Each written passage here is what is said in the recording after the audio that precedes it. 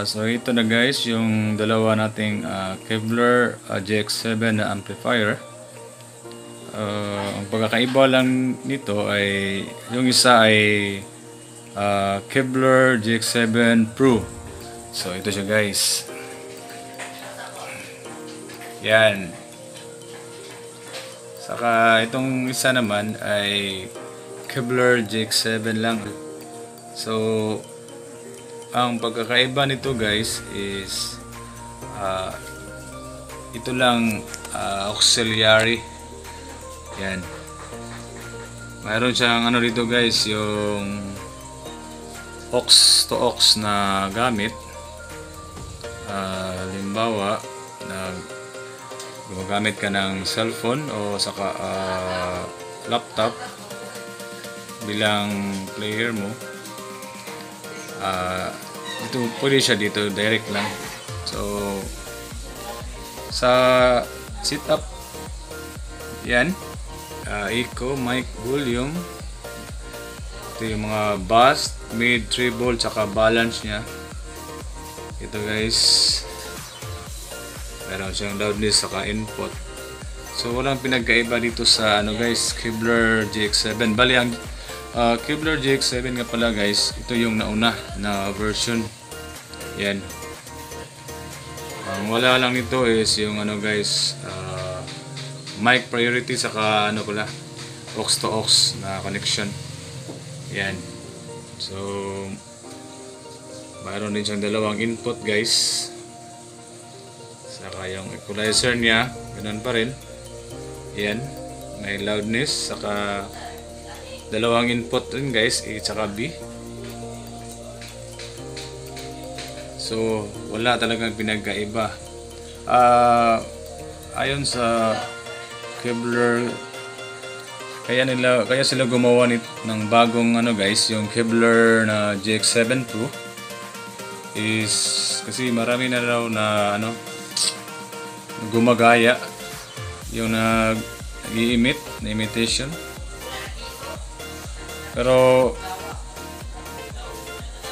sa kabuuan guys ang ano nila power saka yung ah, gamit ganun pa rin. So walang pinagkaiba. So ito yung ah, sa Kevlar GX7 Professional. Yan. Ang audio output niya is 800 watts by 2 so bali 1600 watts ang maximum output power niya guys ayan. So ito namang Kevlar GX7 Pro- uh, Pro. Yan. Ah, 800 watts by 2 pa rin? So dalawang channel tig 800 watts. Ayan guys. So walang pinagkaiba. So maganda lang nito is mayroon kang ano sa Kevlar GX7 Pro guys. Yan. Mayroon siyang auxiliary. So gaya nito guys gani- ah, ito yung ah, aux to aux na cable guys. Yan. So itong isa. Yan dito yan. Halimbawa yan. So itong isa naman pwede rin ito sa ano guys laptop saka yung sa cellphone mo.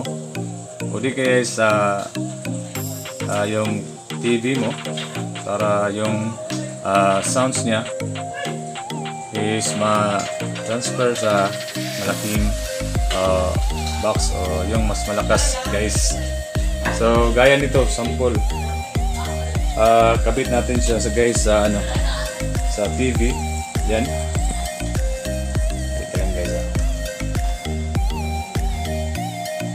ayan. Ito siya guys. Ah, nakabit na natin siya sa TV natin. Yan so testing natin kung maganda ba yung tunog. Ah, on lang natin guys. Yan Saka, hanapin lang natin yung remote. Saan nga pa yun Uh, lagyan natin ng konting volume muna.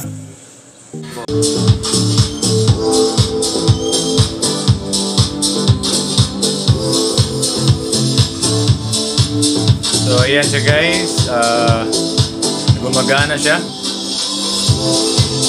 Kaya uh, kapag gusto nyong uh, gumamit ng malaking speaker, yung nanonood kayo ng movie, uh, pwede nyong gamitin itong uh, Kevlar GX7 Pro.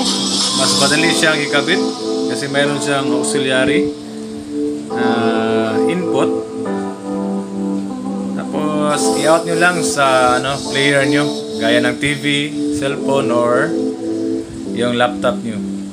So, ito ang kagandahan dito guys sa Kevlar GX7 Pro. So, yan.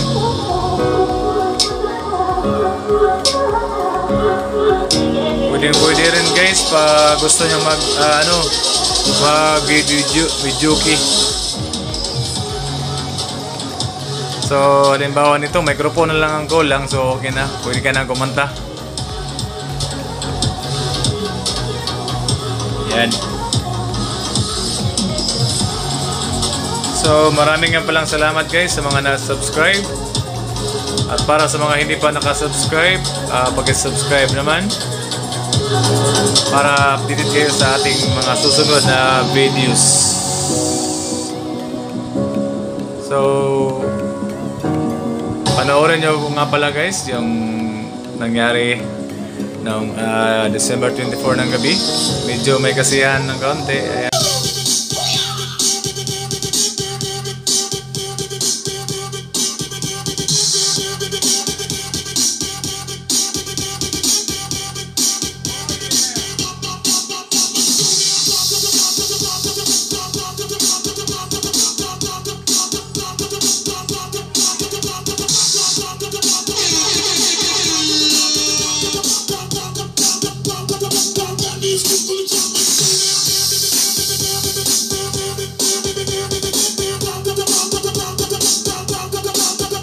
Bago ko makalimutan guys, ah, ang Kevlar GX7 Pro, uh, mayroon pa na siyang mic priority. So kapag gumagamit ka ng microphone, so kapag may background na music, so kapag nagsalita ka na, so mawawala yung music. So yan ang mic priority.